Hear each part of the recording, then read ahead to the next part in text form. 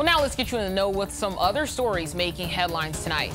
In Boynton Beach, Florida, investigators say they found the sister of Wall Street fraudster Bernie Madoff and her husband dead in their home. They are investigating the deaths of Sondra and Marvin Wiener as an apparent murder suicide. It's still not clear what led up to all of this. You may remember, though, Madoff was infamously known for orchestrating a massive Ponzi scheme that wiped out people's fortunes and ruined charities. He passed away in prison last year.